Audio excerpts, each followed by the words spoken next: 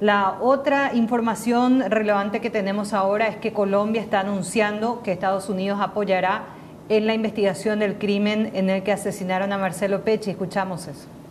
Frente al homicidio sucedido en la ciudad de Cartagena, específicamente en la isla de Barú, se ha tomado la determinación urgente, rápida, de enviar cinco funcionarios del equipo de homicidios del nivel central de la Dirección de Investigación Criminal tomé contacto personalmente con la asistente y el asistente de la señora fiscal general de Paraguay. Estamos pendientes para recibir en las próximas horas una comisión de oficiales de la Policía Nacional para que se integren al equipo de la DIJÍN en el esclarecimiento de este hecho. De igual manera, hemos hablado con las autoridades del gobierno de los Estados Unidos para que también se integre al equipo que en Colombia y Paraguay se ha organizado para llevar a los responsables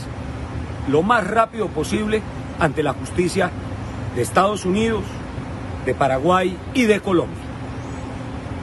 Ya tenemos informaciones que están siendo recolectadas en los actos urgentes